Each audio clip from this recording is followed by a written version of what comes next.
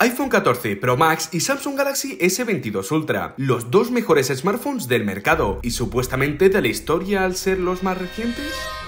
A ver, sabemos que hay buenos Xiaomi, los Pixel, los Huawei, pero esos siempre quedan en un segundo plano. Así que en este vídeo vamos a comparar diseño, pantalla, batería, sistema operativo, rendimiento, cámara, precio, vamos, absolutamente todo. Y si quieres que haga lo mismo con otros dispositivos, pon en los comentarios cuáles querrías que compare. Y claro, tu like y suscripción para que vea que queréis más. Que estoy intentando llegar a 250.000 suscriptores antes de acabar el año, así que sin perder el tiempo, empezamos. El diseño siempre es controversial compararlo, ya que es lo más subjetivo de todo el vídeo. Y tenemos la suerte de que Samsung y Apple han ido por caminos totalmente opuestos, uno con curvas acentuadas y el otro con una forma totalmente rectangular, uno con un módulo enorme de cámaras y el otro con simplemente las lentes sobresaliendo. En mi opinión, este diseño del Samsung es precioso y minimalista, aun teniendo 200 cámaras. Incluso personalmente lo pondría por encima del módulo del 14 Pro Max, pero como os digo, es solo opinión. La pantalla es otra de las máximas oposiciones, aunque ahora Apple se ha acercado un poco más con la Dynamic Island, dejando atrás el notch, pero siendo sincero, preferiría la forma de la pantalla del Samsung para consumir contenido, ya que tanto las curvas como ahora la isla dinámica son súper intrusivas al ver vídeos en pantalla completa, por ejemplo. El diseño de ambos sin duda es de calidad premium, premium como su precio, que al final compararemos también, pero para mis seguidores tengo algo preparado, y es que si os queréis ahorrar los más de mil dólares que vale cualquiera de estos dos, voy a hacer un sorteo de uno de estos dispositivos entre uno de mis seguidores, sí, solo uno, no soy millonario. El ganador elegirá cuál de los dos prefiere y se lo enviaré a cualquier parte del mundo, sí, sorteo internacional. Para participar tendréis muchos métodos. Con solo suscribirte ya entras al sorteo. Haciéndote miembro super cuenta con dos participaciones, o sea tienes el doble de posibilidades de que te toque. Haciéndote miembro VIP cuenta como tres participaciones. Y si te haces miembro master cuenta como cinco participaciones, o sea será cinco veces más probable que te toque a uno que solo se haya suscrito. Y este nivel ya es para locos. De momento no hay ninguno, veremos a ver. Dará el ganador en cuanto lleguemos a mil miembros. Somos 820, así que date prisa. Y volvemos ahora con la pantalla. Y esta es una sección que año tras año Apple pierde numéricamente hay cosas que nunca cambian. Y es que para comenzar, la pantalla es 0,1 pulgadas más pequeña y a la vez tiene un porcentaje de relación pantalla frontal peor, solo siendo 88,3% de la pantalla utilizable en el frontal. Esto debido a sus marcos notablemente más anchos que los del Samsung, aunque simétricos por fin, y un agujero para la cámara frontal más grande al tener que albergar también el Face ID, no solo la cámara como el S22 Ultra. El iPhone, un año más, vuelve a perder en resolución de pantalla, no llegando a los 1440p del Samsung, pero es que tampoco a la densidad de píxeles del móvil coreano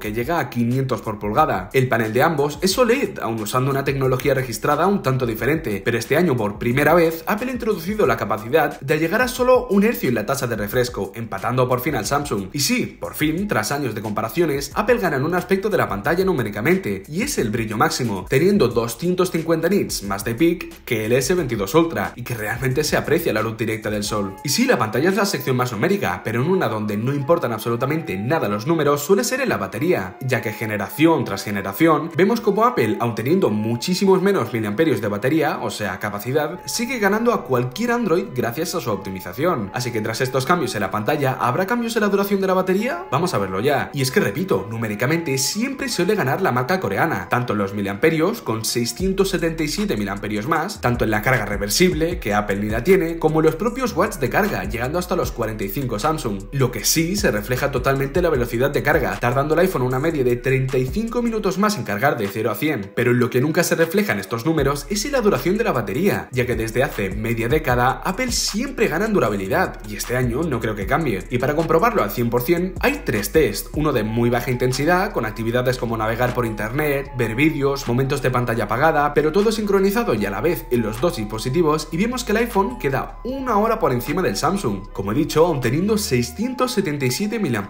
menos. El segundo test fue un poco más exigente, ya que se utilizaron aplicaciones pesadas como Adobe Lightroom o de edición de vídeo en 4K, y todas ellas acabaron con la batería del Samsung de nuevo una hora antes que con la del iPhone, aun habiendo ambos reducido su duración. Y el último test llevándolos al máximo, monitorizando hasta su temperatura, viendo a ver cuánto podría durar cada dispositivo, corriendo juegos que llevarían al límite sus CPUs. En este caso, se usó el PUBG Mobile y el Asphalt 9, dos de los juegos más exigentes para smartphone. Ambos dieron un muy buen resultado, y de nuevo hay un claro ganador, porque aunque llegase el iPhone a un pico de temperatura, temperatura más alto, lo que a largo plazo puede perjudicar a los componentes, ha seguido pudiendo optimizar mejor la batería y durar 37 minutos más. Una barbaridad lo de Apple. Antes de la sección cámaras pretendí hacer una sección dedicada al rendimiento, pero tras varios tests he visto que es ridícula la diferencia. En las pruebas no hay más de 5 FPS de diferencia con juegos como Counter-Strike o Genshin Impact, y en apertura de aplicaciones hay milisegundos de diferencia entre uno y otro, así que no os voy a hacer perder el tiempo, el rendimiento no va a ser nada decisivo en este test, así que nos vamos con lo más importante del vídeo, la comparativa entre las cámaras. Así que vamos con la primera parte, comparar qué ofrece cada dispositivo. Vemos que seguimos como los últimos años, Samsung teniendo cuatro cámaras, una gran angular, angular, zoom óptico de por 3 y zoom óptico de por 10, variando entre los 10 y los 108 megapíxeles, que ahora veremos en las pruebas si vale la pena esos 108, y en el iPhone tenemos tras 7 años, o sea desde el iPhone 6S, la primera mejora en cuanto a megapíxeles, con de nuevo tres módulos, gran angular, angular y telefoto de por 3, pero con la angular, la principal, de 48 megapíxeles, que me han sorprendido para muy bien en las pruebas que veréis a continuación. Numéricamente siempre gana el Samsung, y así es de nuevo con el zoom, tanto óptico como digital, llegando hasta por 100 digital, aunque sea difícilmente utilizable. Y como seguimos hablando de números, Samsung vuelve a ganar en cuanto a máxima resolución del vídeo, llegando hasta los 8K 24 FPS, y Apple quedándose un año más en 4K. Y atentos a las pruebas de vídeo, porque hay una sorpresa que no me esperaba para nada. Ambas cámaras frontales sí que llegan a 4K 60 FPS, pero Samsung gana con los megapíxeles y Apple con la estabilización óptica. Y vamos ya con las pruebas, para ver qué tal se traducen estos números a la vida real. Y vamos a ver, como suele ser normal, una tendencia de Samsung a saturar más los colores en todas las imágenes, y el iPhone a ponerlas un tono más claro. Como en imágenes como esta, que quizá el sensor más grande de Samsung le haga tener un mejor rango dinámico, y poder exponer bien tanto el cielo como el mar y las rocas más oscuras. Lo mismo pasa en esta, que si bien el iPhone se esfuerza en mantener todo lo visible bien iluminado, Samsung fuerza la lente para también tener el cielo bien expuesto. Y es algo que no cambia. De nuevo, cielo mejor expuesto en el Samsung, pero sinceramente es mucho más real la del iPhone. Ni la planta era tan colorida, ni el cielo tan azul. Pero bueno, entendemos que visualmente parece más bonita la del S22 Ultra. Y aquí un ejemplo más, se repite la misma historia. Pero aquí viene una de las partes más interesantes, que es comparar los 108 megapíxeles de Samsung contra los 48 del iPhone. Y es que ampliando en esta imagen, yo sinceramente no diría que hay 60 megapíxeles de diferencia. Tampoco en esta imagen, donde seguimos con la tendencia de sobresaturar los colores del Samsung. Y sinceramente en esta lucha de megapíxeles tengo que dar por ganador al iPhone, y no por esto, sino por esto. No solo tiene una muchísimo mejor calidad en cuanto a resolución, sino que también están todos los contrastes y luces mejor expuestos en el iPhone. Mira cómo se ha quemado esta parte de la imagen por la luz, y el iPhone hasta mantiene las rayas de la persiana. Una humillación a los tan galardonados 108 megapíxeles de Samsung. Y la humillación sigue cuando ves la versatilidad que te da una imagen en el modo Pro RAW del iPhone, que es el que dispara a 48 megapíxeles, puesto que te da una imagen final de unos 60 o 100 megas y puedes transformar una imagen así de quemada en algo así. Esta es la humillación de la que hablo en el título, que solo 48 megapíxeles bien optimizados dejen tan mal a los 108 de Samsung. Ahora veremos si Samsung con su zoom remonta. Con la gran angular vemos que Apple está dando pasos agigantados, con sensores más grandes permitiendo tener mucha más luz en la imagen, pero sin forzar las zonas oscuras como en el Samsung. En esta, si obviamos el coche, vuelve a pasar lo mismo con la principal. Ambas fotos increíblemente expuestas, pero el Samsung siempre con un poco más de color. Y sinceramente, creo que Apple con su gran angular ha ganado a todos este año. En esta podéis ver la diferencia de luz en el techo, mientras que el cielo sigue perfectamente expuesto, y hasta está mejor iluminado el interior de la tienda que Samsung. Simplemente hay que aceptar que la mejor gran angular actualmente la tiene Apple. Y por si no lo sabíais aún, la fotografía de modo macro se hace exclusivamente con la cámara gran angular, lo que significa que de nuevo Apple volverá a ganar. Ya no solo con el color, ya no solo con la exposición, sino directamente con la distancia mínima de enfoque, porque con la nueva gran angular del iPhone te puedes acercar muchísimo más a cualquier objeto que quieras fotografiar. Hasta en esta foto se diferencia lo cerca que se puede enfocar el iPhone, y el detalle y luz que saca de una simple gota de agua. De nuevo, claro ganador. En el modo noche las cosas cambian, y mucho, ya que el iPhone trata de iluminar todo de una forma más artificial, mientras que el Samsung parece de nuevo tener un rango dinámico bastante mejor, así manteniendo los negros, pues negros, y las luces mucho mejor expuestas, así como los colores. En esta imagen se ve bastante claro, como el iPhone intenta iluminar todo hasta el cielo, mientras el Samsung deja el cielo mucho más realista y el edificio, aun exagerando los colores, está perfectamente iluminado, sin quemar la imagen como hace iPhone. Y los ejemplos no paran. De nuevo, el Samsung más realista, pero el iPhone esforzándose en iluminar todo, dejando ver las casas que realmente estaban casi oscuras. Y último ejemplo, como siempre, Samsung mucho color y iPhone mucha luz artificial. Y en este campo, hablando obviamente del zoom, casi ni voy a entrar a detalle, porque es una batalla perdida por Apple desde hace años. Ya veis que desde el zoom por 10, Apple está perdiendo, ya que el iPhone está haciendo zoom digital desde el por 3 y Samsung tiene una cámara dedicada para ello, o sea, una paliza monumental. Aquí se entra en el debate de si es realmente útil o no tener tanto zoom. En mi opinión, sí que lo es, y Samsung siempre gana. Ahora en vídeo también lo veréis, y de hecho vamos ya a comparar vídeo.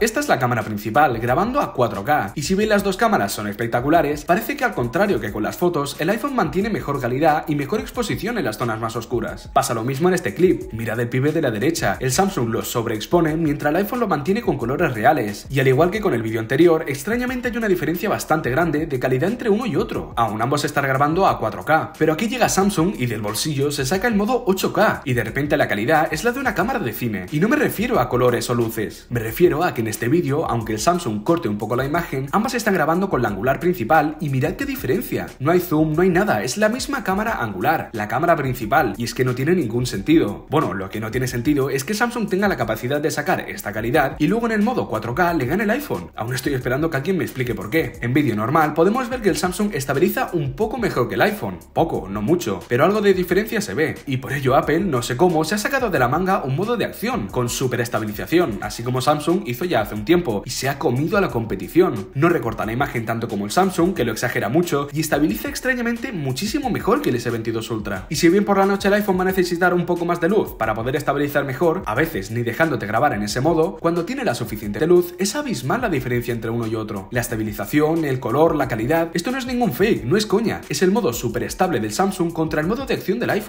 Brutal la diferencia, pero como siempre que gana Apple, Samsung se saca números de la manga, como de nuevo con el zoom. Pasamos del angular al zoom óptico de por 3, donde el iPhone parece tener una imagen más clara y a mejor resolución, pero hasta aquí llega el iPhone, porque el Samsung saca un zoom óptico de por 10 con una lente dedicada, y se acaba la batalla, porque si viene el zoom digital del iPhone hasta por 10 no está mal, pues no hay punto de comparación, porque el Samsung sigue y sigue y sigue y sigue. No tiene competidor en el mercado. Por la noche en vídeo el iPhone suele mantener unos colores más reales, sin saturar ni contrastar tanto como el Samsung, y sin generar tanto ruido en las zonas oscuras. Y al contrario que las imágenes, en vídeo el Samsung es el que sobreexpone las luces. Aquí volvemos a demostrar primero que Samsung genera mucho más ruido en las zonas oscuras como el cielo, y que satura bastante los colores. Y con la gran angular en la noche, se ve de nuevo que el iPhone ha hecho un trabajo excelente. De nuevo con la exposición y los colores. Solo hay que ver lo que está sufriendo la estabilización del S22 Ultra, distorsionando hasta la imagen a cada paso. Pero de nuevo, si gana el iPhone en algo, llega Samsung con el zoom y remonta, porque de nuevo por la noche, aún empezando de una base peor, tanto en el zoom por 3 como en el por 10 gana con muchísima ventaja, pero muchísima. Y todo esto nos lleva al precio, a lo que vale cada una de estas bestias, algo que puede hacerte elegir entre uno y otro. Vamos a verlo, aunque ya sabéis que os puede salir uno totalmente gratis entrando al sorteo internacional suscribiéndote y haciéndote miembro. El iPhone empieza en 1099 más impuestos en Estados Unidos, o directamente en 1469 euros en España, llegando hasta los 2119 euros por la versión de un tera de almacenamiento. ¡Qué barbaridad! Yo sortearé el de 256 gigas.